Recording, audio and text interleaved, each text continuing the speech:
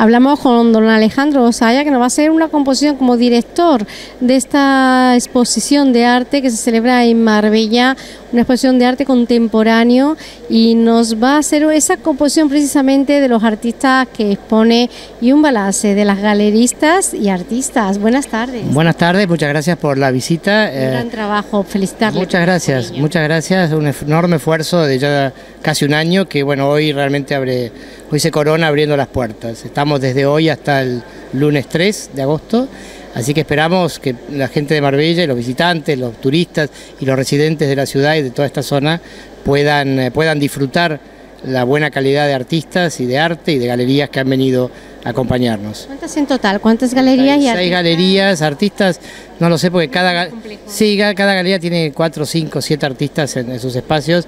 Estamos hablando de más de 300 artistas representados. Algunos de aquí también, ¿no? Sí, claro, ahí hay de hay una galería de Estepona, Estoa Gallery, hay una galería de San Pedro Alcántara, Red Penguin, una galería de Marbella, Justo Quiner, que nos acompañan junto con galerías internacionales de primerísimo nivel.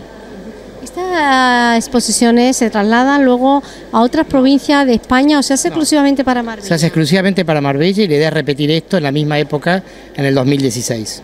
Pues es que es un llamamiento para todo el que le guste el arte y quiera deleitarse con él, que venga a visitarlo. ¿Hasta qué día? Absolutamente, hasta el día 3, lunes 3 de agosto y todos los días de 6 a 10.30 de la noche.